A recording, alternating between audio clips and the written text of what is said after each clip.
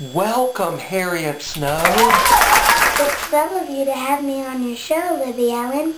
Harriet, would you mind terribly if I asked you about your age? Why? How old do I look? You look around seven or eight, but I know you are a bit older than that. I understand you were born in 1921. I prefer not to talk about my age. Suffice it to say, the first time I voted was for Franklin Roosevelt. Who do you like this time around? What does it look like, Rusty Scupperton? Now, Harriet, I have to ask you about some painful memories. A few weeks ago, I had as a guest the world's leading expert on you and your career, John Thornton. He told me the story about your alcoholic step-grandfather and what a cruel man he was. I have nothing but respect and admiration for that young man, Mr. Thornton.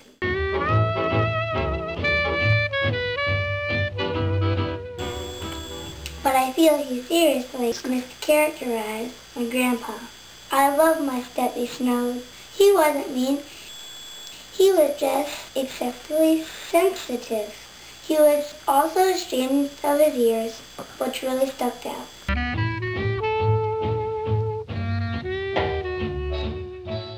I understand he concocted some formula that kept you youthful. When I turned seven, Steppy started giving me medicine every night. It tasted terrible and I would cry and cry. Steppy became an alcoholic because he couldn't stand my crying. He always drank three shots in a beer before he gave me my medicine, just to steady his nerves so he could stand my caterwauling. What was in that medicine? I am sure our viewers would love to know. It was mostly a product called Geritol. But Steppy added some ingredients of his own. No one knows exactly what they were. By the way, I have an old home movie of Steppy giving me my medicine. Would you like to see it? Absolutely.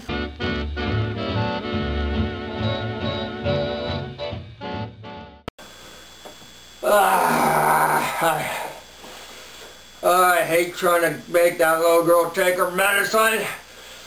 Uh, ah.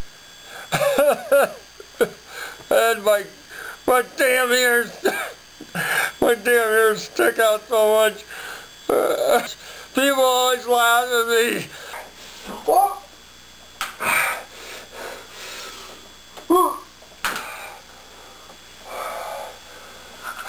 It's so, it goes on and on. She hates it. Oh, okay.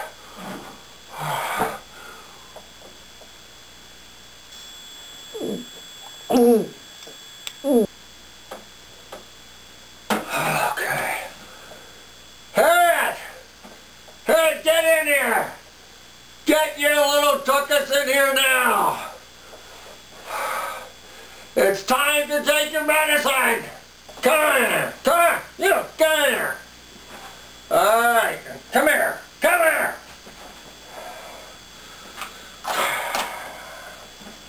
Harriet, you know you gotta do this. You know you gotta take your medicine.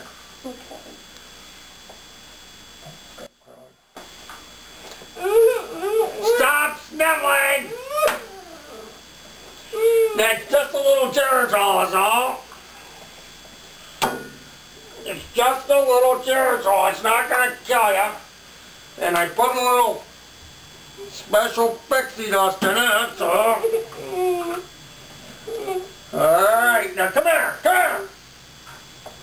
Now stop sniveling! Drink it!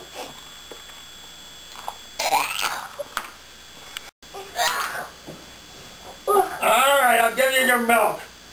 What do you want some milk to wash it down? Alright. Now Harry, this is for your own good and the good of the Snode family. I hate making this longer. One day you'll learn to like that stuff. Hmm.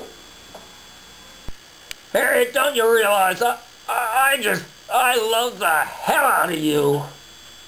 Alright? Friends? Okay. Alright, Harriet. Yeah, you're gonna be grateful someday because you're gonna stay young forever. I love you too, Steppy Snode. Well, Harriet, it's just been delightful to have you on my show. Is there anything you would like to say to all your fans out there? I would like to thank you for watching me on the Libby Ellen Spooner Show. Thank you. Is there any way you might make some movies again? I don't know, maybe. Because you still, you never did beat that Shirley Temple, but I bet you're a lot more girlish looking than she is now. Well, maybe I will. Oh, that would be wonderful. Super. It gives us something to look forward to.